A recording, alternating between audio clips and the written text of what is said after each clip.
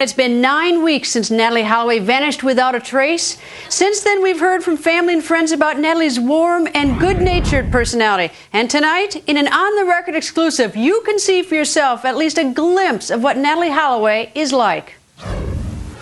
Just, you know, sitting in the back, cruising over to my place, and you're doing an excellent job. And I just want to say happy birthday. You know, you look like a new woman, and I'm sure you feel like one too. And the beach was a blast. I had best time of my life. Two days ago, Natalee's mother left Aruba for the first time since she raced to Aruba after getting that call that her daughter had failed to show up for her flight back to the United States. We caught up with Beth Holloway Twitty and Natalee's stepfather, Jug Twitty, at their Birmingham, Alabama home. When did you get home, Beth? Oh, gosh.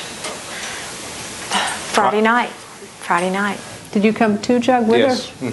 Uh, plan isn't to stay home long, though, is it? Not for me. Um, the plan was to Greta to bring her home, and and she had so many cards and letters and things down there were just piling up in the in the room, and we knew we had to get some of it back because you know um, we would never gotten it all out of there. But uh, and I wanted to come back, and I wanted to see what the community has done for her. You know, when you step outside of Aruba, I think it helps clear your mind and you see you see really what you've been going through and, and still what needs to be done and the things that, that are, are so wrong. And I'll be honest, it just really gave me so much strength and I was just really getting I was my anger was increasing every hour. It's, it just increases as I'm here. And it's because I know of so many things that you know, I see this huge support here. And then I see these things clearer now, these things that have gone wrong in Aruba in regards to Natalee's investigation. And it just becomes, oh, everything, everything since day one. And I was just getting angrier by the moment. Uh, I mean, Jug knows. It was just, Are you madder, or because you've been I- I you've was- been mad a lot I- uh, since the I'm al- beginning? you know, I'm always mad. But um, when I came back the first time, uh, I, I was livid. I mean, I just would watch the the news, Fox, whatever, and and it just drove me crazy. And I kept hearing these things that people would say down there, and and uh, then after talking to the people here about and seeing all the support, you just want to go back down there. So I was down there the next day. I stayed here one night, I think. But I think in bringing Beth back, you know, first of all, we got a lot of the stuff back. I wanted her to come back and see Matt. I wanted her to come back and get Matt settled in, you know, Her, your son, her son. her son for uh, for school, and um, but also it gave us an opportunity to talk to some of the kids that are Natalee's best friends that were on the trip with her down there.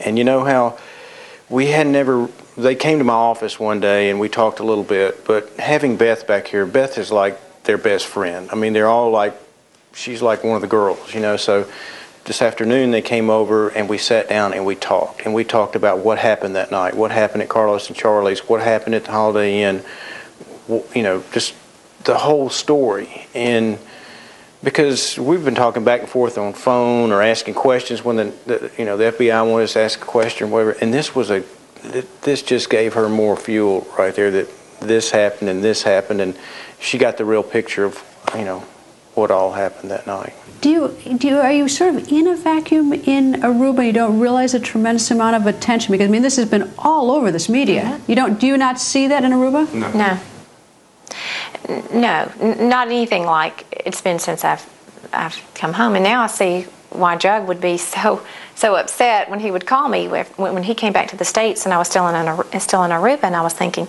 in my mind, I was thinking, well, nothing's changed, so I really wasn't any angrier or anything like that, but I noticed his was just increasing, and I couldn't figure it out until yesterday. I see I see I see why now.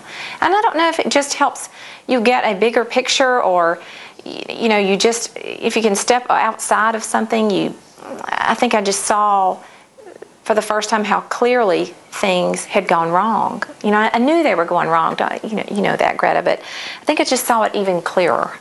Like what? I mean, what, uh, what, what's Just spec- you? I think I just saw specific little details that just have started eating me alive. Just from, I mean, from details of that first night when we met Joran and Paul and Deepak, you know, just little details that have been eating away at me on this pickup time at McDonald's. You know, this, you know, Paul van der Sloot stated specifically and emphatically he picked them up at 4 a.m. I have it documented in my journal too many times to know that. 11 a.m. or 11 p.m. No, he told us At 4 a.m. Totally 4 a.m. Yeah, up Start with. to start with.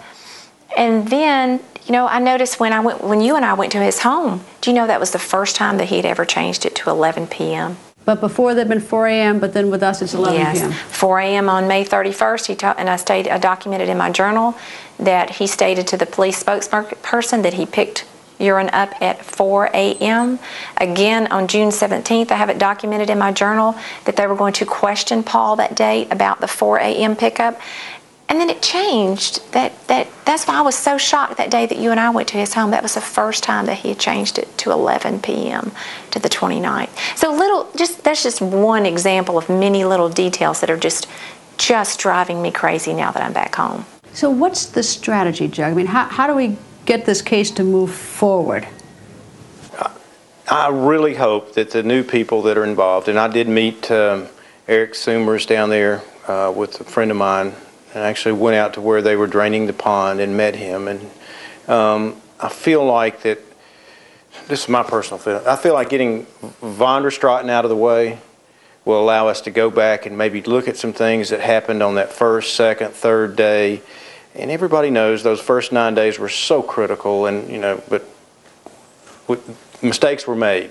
But they can still go back and get the people that were with me that night. There was eight people that were with Beth and I the night we went to van der Sloot's house, and you know, they didn't take their they didn't take their statements for 19 days. So but they can still go back and get them. And you know, people forget things. But if we'd taken them, of course, you know, two or three days later, we'd probably already had the, the answer to what happened to Natalee. But I, I still think that the new people there do want to do that. I think they want to go back to the beginning. And there are so many people that they need to go back and talk to. Uh, that I think if we do that, s- somebody's going to say something, or they're going to get some kind of clue as to, to what happened. How do you keep your cool, though? I mean, you seem you seem patient. Well, I mean, it, last night I don't think I was very patient. I, I don't, you know, just you know, have my moments where I'm just, I'm just, I'm so angry and I'm just ready to lash out. And y- you know, I, I can't just stay that way. Uh, that's just, it's, you know, I just, I just have my moments. I mean, you know, today, uh, you know, I'm getting, it's getting closer to where I'll depart for Aruba again. So I realize that I will be able to, you- know, just further. I just feel like I just want to further harp on those specific details of everything that we've heard since since we arrived on that island, because there are so many things that are. Is it that you're? I mean, when you go back, do you feel like you? I mean, you're determined. You don't feel like a tremendous amount of like, I, I this is so hard. I can't go back. Uh, no, None of that. No way. I can't wait. I cannot wait. You always been like this? Mm-hmm. She has. Kinda, yeah. Both, and you too, Joe? In a, in a different way, yeah. I'm, I'm like that. Yeah. Because I'd want We- you two we- on my team. I'd want you two on my team on this. She, she's very, very determined. I mean, she's uh, sh- sh- she's going to find the answer. I mean, she is not going to quit till she finds it. And we think we know where it is. Well, we know we know where it is. Where I is it? It's in it's Aruba, in, but- it's, it's in Joran's head. It's in Deepak's head. They were there that night. I'm, I'm telling you, when we drove up, that Euron, Deepak, and the father all know what happened to Natalee.